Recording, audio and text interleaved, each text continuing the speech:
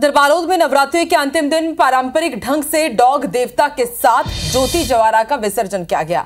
मंदिर से युवकों ने ज्योति जवारे को सिर पर रखकर जसगीत गाते हुए तालाब पहुँचे और वहाँ उसे विसर्जित किया। इस विसर्जन की झलक पाने के लिए हज़ारों भक्त मौजूद रहे। वहीं भानु प्रतापपुर में भक्ति भाव के साथ माँ दुर्गा की शोभा यात्रा निकाली गई।